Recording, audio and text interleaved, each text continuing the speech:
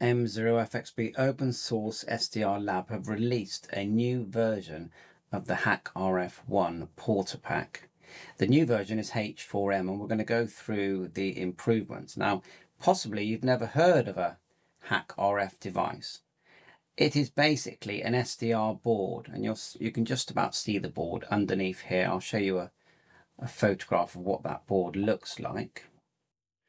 Here's the H4M board. So it's an SDR receiver and transceiver that fits underneath yeah, this device. So this is this screen that you're seeing on the front here is actually on the right hand side of my video is actually called the PortaPack. So it's it's what before you would connect the the board that you're seeing to the left of me to your PC and then it's like an SDR receiver, a bit like a dongle that you would normally get, and it receives from one megahertz to six gigahertz, uh, and so it's a real hacker's delight really.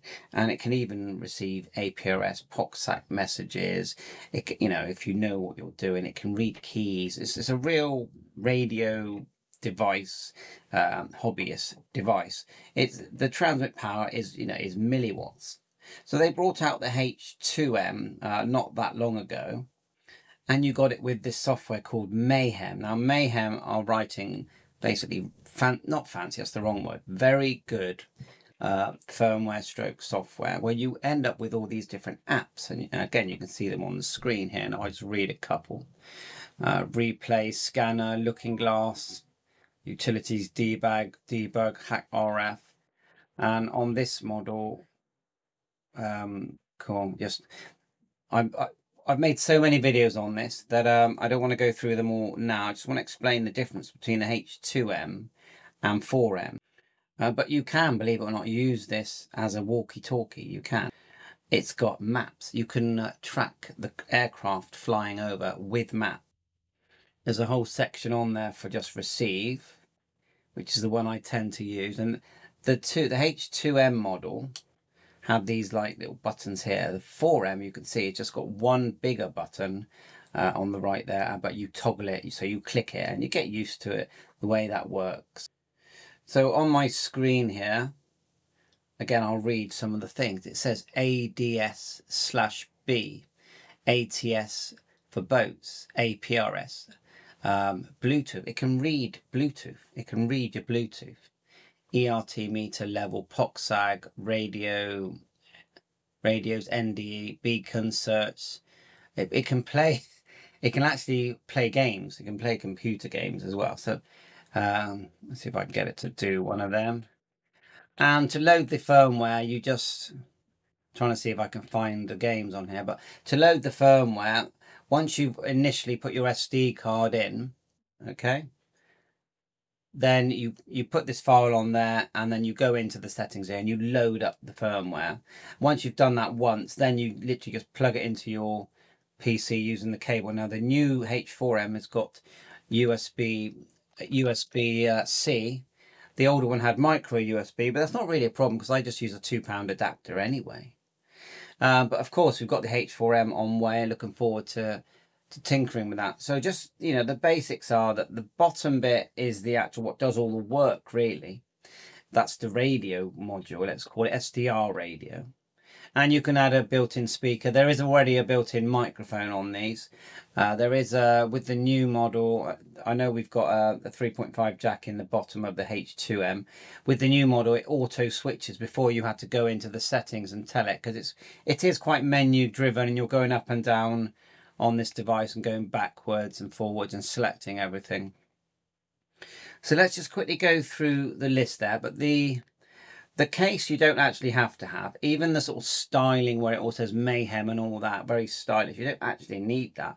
The main point of the front end with the nice the nice screen looks about 3.5 inch to me is that you you're independent from your PC.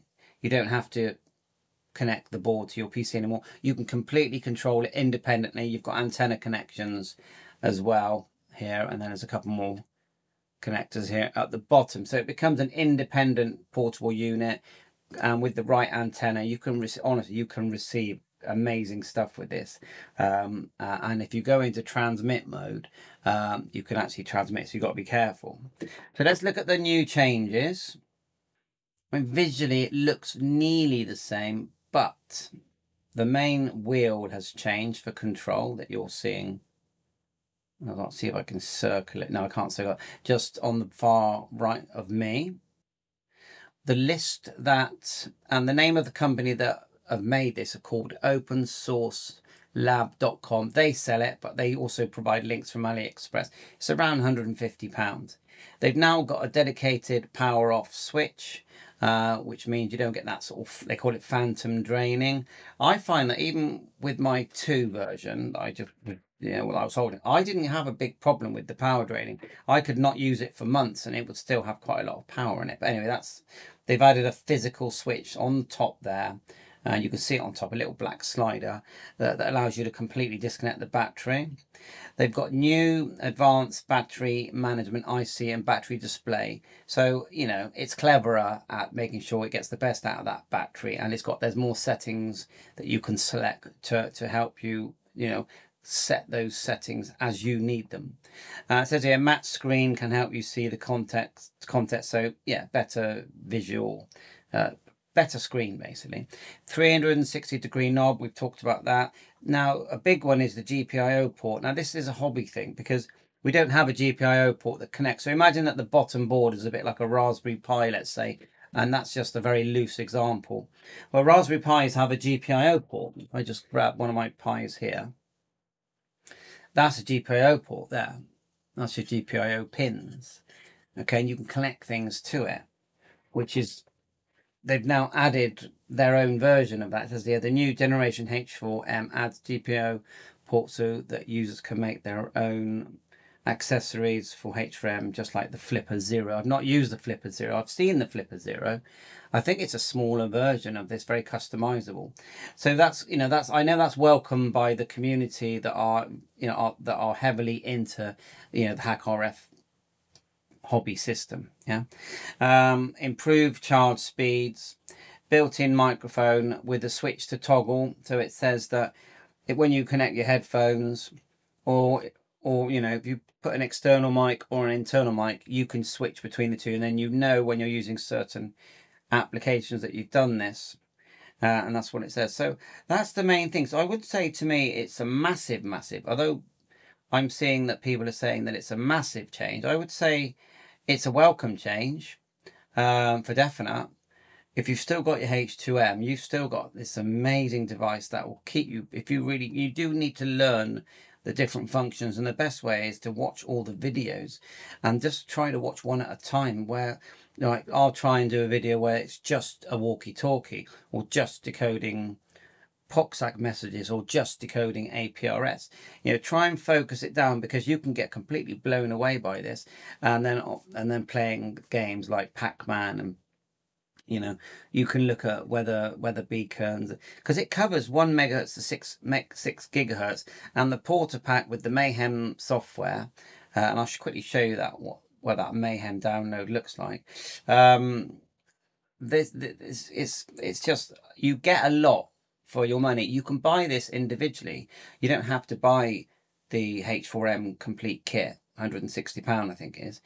Uh, you can actually buy uh, the base model and the top model separate. So you may already have the base model and a case. I've got a spare metal case here that I haven't even used yet.